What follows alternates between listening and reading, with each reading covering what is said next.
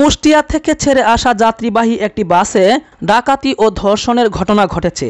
ডাকাত দল বাসটি কয়েক ঘণ্টা তাদের নিয়ন্ত্রণে রেখে ভেতরে যাত্রীদের মারধর ও লুটপাট চালায়। এ সময় এক নারী যাত্রীকে দলবদ্ধ ধর্ষণ করা হয়। পরে বাসটিকে রাস্তার পাশে কাত করে ফেলে রেখে ডাকাতেরা পালিয়ে যান।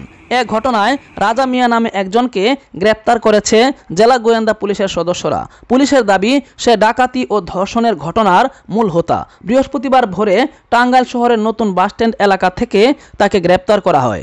যাত্রীদের বরাত দিয়ে মধুপুর থানার ভারপ্রাপ্ত কর্মকর্তা মোহাম্মদ মাজহারুল আমিন জানান, চব্বিশ থেকে পঁচিশ জন যাত্রী নিয়ে ইগল পরিবহনের বাসটি মঙ্গলবার রাতে ঢাকার দিকে রওনা দেয়। বাসটি সিরাজগঞ্জের কাছাকাছি দিবারাত্রি হোটেলে রাতের খাবার খাওয়ার জন্য বিরতি দেয়। রাত দেড়টার দিকে আবার যাত্রা শুরু করে। পথে কাঁধে ব্যাগ বহনকারী দশ থেকে বারো জন তরুণ যাত্রী বাসে ওঠেন।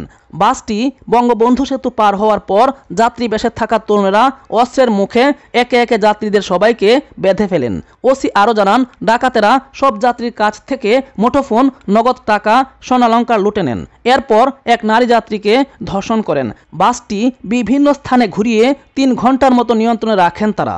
পরে পথ পরিবর্তন করে টাঙ্গাইল ময়মনসিংহ সড়কের মধুপুর উপজেলার রক্তিমপাড়া জামে মসজিদের কাছে বাসটি কাত করে রেখে ডাকাত দলের সদস্যরা চলে যান। ইতোমধ্যে ডাকাত দলের একজনকে গ্রেপ্তার করা হয়েছে। তো দর্শক, আপনি কি ধরনের শাস্তি চান? কমেন্ট করে জানিয়ে দিন। সবাইকে ধন্যবাদ।